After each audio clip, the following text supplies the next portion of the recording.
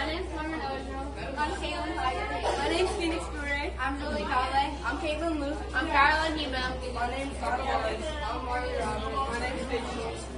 We are the South Food Varsity Volleyball Team, and we support By-U Sports. Go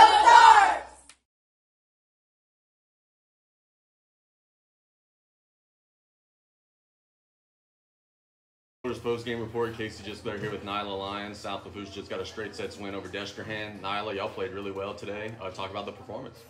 That was the best we've ever played in a long time. We finally getting it together. The clicks happening. We're getting the sets. We're getting the hits. We're getting the passes. Our defense is moving. We're talking. We're having fun out there. So thank you. Not a whole lot of practice time. y'all came out and played really, really well. I mean, you just looked like y'all were just having a bunch of fun today. Yes, sir. We were.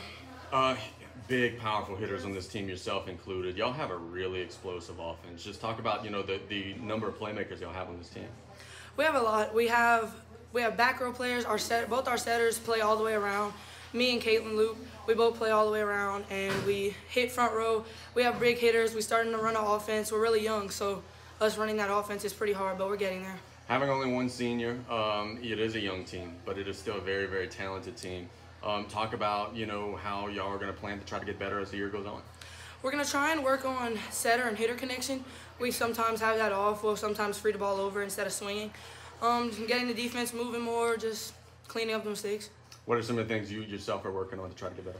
I'm working on setting. I have first year being a setter, so it is a little challenging, but with my coach, I'm getting there, setting and then hitting good and stuff. Awesome. Nyla, you got your first basketball scholarship offer recently. I want to ask you about that. First and foremost, congratulations. It's the first of many. Second, how does it feel? It feels amazing. It feels really, really good. I never would have thought I would have made it so far, but I'm hoping, hoping for more, and thank you for that. Yep, congratulations. Thank you.